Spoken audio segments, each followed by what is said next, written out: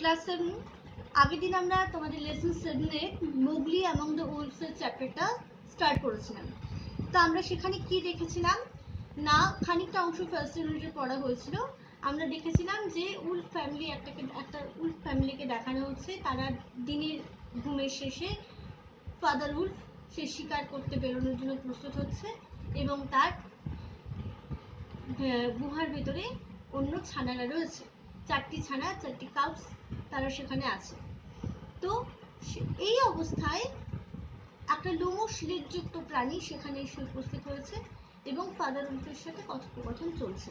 সেখানে সে লাস্টে এই কথা বলছে যে, তোমার মহান সন্তানরা ক্ষুধার্তদের কখনো ভুলবে না।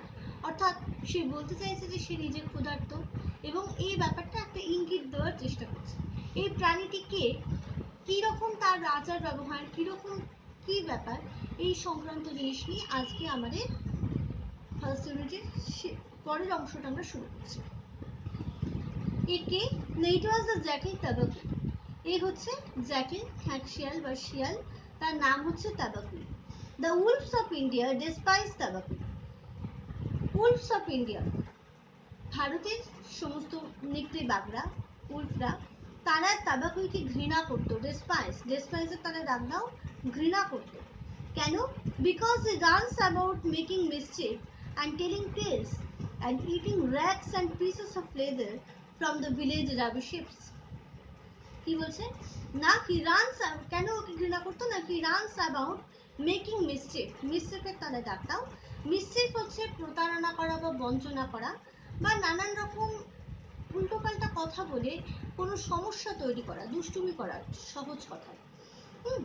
তো সে কি করতো? সে এদিক ওদিক দৌড়ে বেড়াতো আর নানান রকম গল্প বানিয়ে বানিয়ে বলতো টেলিং টেলস নানান রকম গল্প বানিয়ে বানিয়ে বলতো আর মিস্ট্রি এরকম প্রতারণা বা দুষ্টুমি করতো, এমন কিছু কথাবার্তা বলতো যেটা অন্যদের পছন্দ হতো না।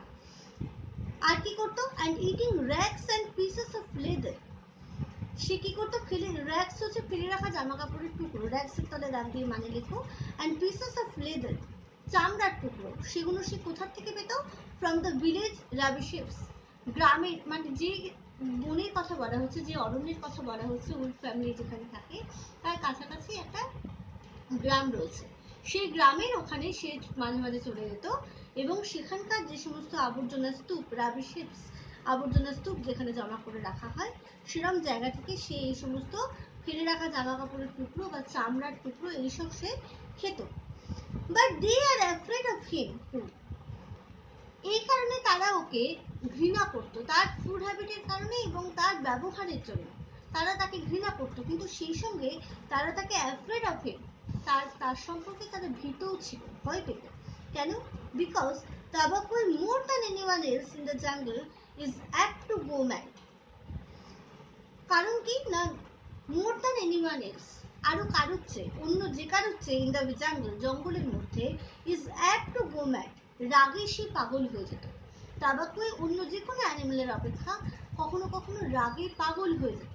তারপরে কি হতো and then he runs through the forest এর ফলে যখন সে এরকম রাগে পাগল হয়ে যেত, সে তখন তার রাগটাকে কীভাবে প্রকাশ করত? না he runs through the forest সে জঙ্গলের মধ্যে দৌড়াদৌড়ি করতো। আর কি করতো? Biting everything in his way তার যাওয়ার পথে, দৌড়ানোর পথে তার মুখের সামনে যা পেত সেগুলো কি সে কামড়ে দিত even the tiger runs and hides when Tabaqui goes mad এমনকি টাইগার যাকে কিনা আমরা বনের মধ্যে সব থেকে শক্তিশালী পশু বলে জানি, সেই টাইগারও সেও রানস অ্যান্ড হাইটস সেও দৌড়ে বেড়াতো এবং নিজেকে লুকিয়ে ফেলতো ওয়েন তাবাকুই গোজ ম্যাড তাবাকুয়ের থেকে ভয় পেত বলে সে নিজেকে লুকিয়ে ফেলতো। তাহলে দেখো তাবাকুই একটা শিয়াল, একটা জ্যাকেল তাকে অন্যান্য প্রাণীরা তার হ্যাবিটসের জন্য এবং তার এরকম অদ্ভুত আচরণের জন্য তাকে ভয় পেত বা সমঝে চলতো। বলা যেতে পারে হয়তো আমরা দেখব তাকে এড়িয়ে চলার চেষ্টাই এরা করত। Then and look said father stiffly father stiffly কঠিনভাবে সে বলল এন্টার দেন অ্যান্ড লুক ভেতরে প্রবেশ করো আর দেখো। আগেই ও খাবারের সন্ধান করছিল তাবাকুই উল্ফের কাছে তখন ও বলেছিল যে আমাদের এখানে কোনো খাবার দাবার নেই। তো তুমি, এবারে ও যখন ওই সমস্ত কথা বলছে যে তোমার মহান সন্তানেরা ক্ষুধার্তকে কখনো ভুলবে না, তার মানে ও বলতে চাইছে তোমার কেভের ভিতরে কোনো খাবার দাবার আছে, সেটা আমি দেখতে চাই। তো সেজন্য ফাদারুল বিরক্ত হয়ে কঠিন স্বরে বলছে যে, যাও ভেতরে আর দেখো। But there is no food here কিন্তু ওখানে কোনো খাবারই নেই। ফাদারুল ফেটে জোর গলায় বলছে যে ওর শিকার করে আনা খাবার তাদের সবার খেয়ে দিয়ে শেষ হয়ে গেছে, সেখানে কোনো খাবার পড়ে নেই।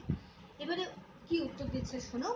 For a wolf no said Tabaqui but for so mean a person as myself a dry bone is a good feast কি বলছে? ফর এ উলফ নো একটা উলফের মতন প্রাণী, একটা নেকড়ে বাঘের মতন প্রাণী, তার জন্য হয়তো কোনো খাবার নেই সেট তাবাকুই তাবাকুই বলল, কিন্তু but for so mean person কিন্তু আমার মতন so mean person as myself কিন্তু আমার মতন এরকম মিন মিন মানে যে যার মূল্য নেই কোনো ভ্যালুলেস এরকম যে, এরকম একজন সাধারণ মানুষের পক্ষে একটা dry bone R dry bone is a good feast একটা ড্রাই বোন একটা শুকনো হাড়ও যথেষ্ট ভালো খাবার হতে পারে। ফিস্ট আমরা জানি বনভোজন, এরকম বেশ ভালো বনভোজন হতে পারে। অর্থাৎ বড় প্রাণী নেকড়ে বাঘ তার কাছে একটা শুকিয়ে থাকা বন, একটা হাড়, হাড়ের টুকরো, তার কাছে তেমন কিছু নয়, কিছুই নয়, সে সেটা হয়তো ফেলেই দেবে।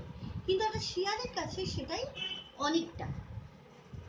Who are who are we to pick and choose আমরা কে যারা আমরা বেছে নিতে পারি পিক অ্যান্ড চুজ আমরা কি করে বেছে নিতে পারি পিক অ্যান্ড চুজের তোরা দাগ দাও লেখো, তুলে নেওয়া এবং বেছে নেওয়া। পিক মানে তোরা চুজ মানে বেছে নেওয়া।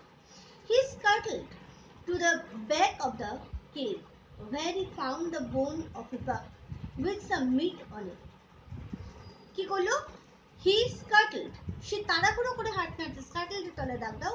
সে তাড়াহুড়ো করে হাঁটতে হাঁটতে গেল to the back of the cave গুহার পেছন দিকে where he found the bone of a buck যেখানে সেটা বাকের হাড়ের হাড় পেল। বাক হচ্ছে এক ধরনের হরিণ।